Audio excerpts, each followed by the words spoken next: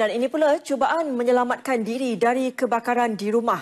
Akhirnya meragut nyawa seorang warga emas. Identiti mangsa yang disahkan Ahmad Zabidi Abdul Rashid, 67 tahun, maut dalam insiden itu selepas terjatuh dari tingkat dua rumahnya di Gombak, Selangor awal pagi tadi.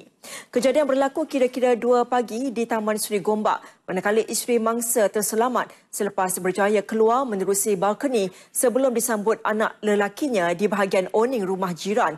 Anak lelaki mangsa tinggal di rumah bersebelahan bagaimanapun mengalami kecedoan di bahu. Dua jentera dari Balai Bomba dan Penyelamat Selayang dan Rawang bersama-sama 21 anggota dan 6 anggota bomba sukarela dari Gombak, Kepong dan Bangi terlibat dalam operasi menyelamat dan memadam kebakaran.